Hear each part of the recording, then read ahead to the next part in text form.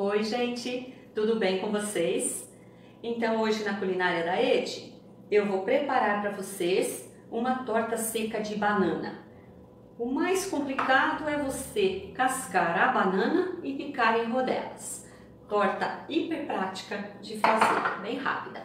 Você vai utilizar mais 50 gramas de manteiga, uma xícara de açúcar demerara, duas xícaras de farinha de trigo, uma colher de sopa de fermento em pó, uma unidade de ovo, uma xícara de leite e aqui tenho quatro colheres de açúcar demerara misturada com uma colher de sopa de canela em pó.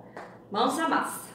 Você vai começar fazendo uma farofa com a manteiga, o açúcar e o trigo. Você também já adiciona junto a colher de fermento em pó. Aqui nós vamos mexer com as pontas dos dedos até formar uma farofa. A nossa farofa está pronta, você vai reservar e vamos começar a montagem. Você pode utilizar uma forma de aro, aro removível para facilitar para desenformar, mas também pode ser assada em uma marinex, onde você daí não precisa tirar para servir. Você vai colocar na forma metade dessa farofa, vamos mais ou menos aqui dividir a metade. Então, você vai forrar a forma com a metade dessa farofa. Reserva a outra metade. Vamos espalhar as bananas.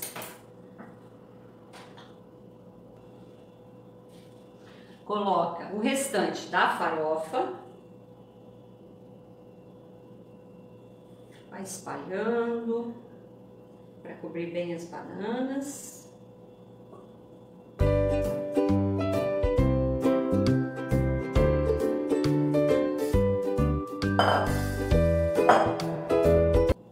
Você dá uma ajeitadinha com as mãos para ficar toda coberta.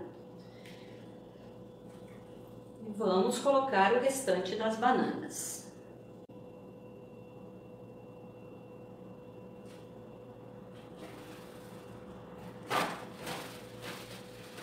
Bananas distribuídas. Agora, você vai bater esse ovo com um garfo, só bater. E mistura essa xícara de leite. Mexe essa mistura. Nós vamos colocar agora em cima das bananas. Aqui foi farofa, banana, farofa e banana. E agora nós vamos derramar essa mistura de leite em toda a torta.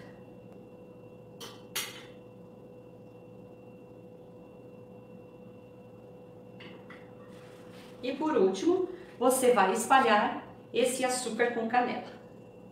Espalhe em toda a torta.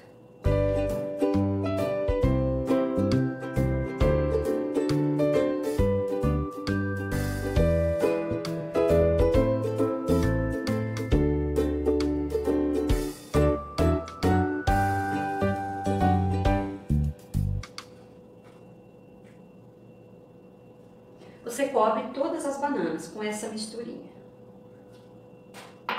Eu vou mostrar para vocês. Torta montada.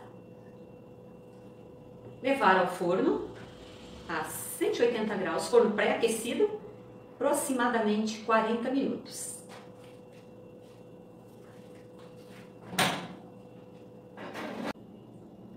A torta está assada e eu tirei do forno 30 minutos antes para poder esfriar um pouco. Vamos passar uma faquinha em volta. E vamos desenfiar. Olha a nossa torta. Ela cresce um pouco e depois ela baixa, é assim mesmo. Porque tem bastante banana e a banana pesa um pouco. Mas o sabor é muito bom. Eu vou cortar para mostrar para vocês como que fica essa massa.